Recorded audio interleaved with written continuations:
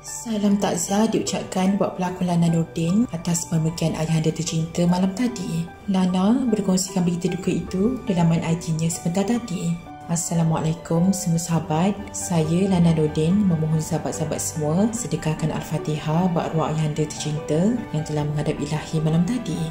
Sesiapa yang mengenali beliau, saya memohon maaf bagi pihak ayahanda jika ada salah dan silap. Semoga arwah ditempatkan di kalangan orang-orang yang beriman. Terima kasih dan wassalam. Meninjau durangan komen, rata-rata peminat dan rakan artis menitipkan ucapan takziah kepada Lana sekeluarga. Namun begitu, Lana tidak mendedahkan punca sebenar kematian ayahandanya. Marilah kita sama-sama doakan supaya doa Allahyarham ditempatkan di kalangan orang-orang yang beriman. Al-Fatihah.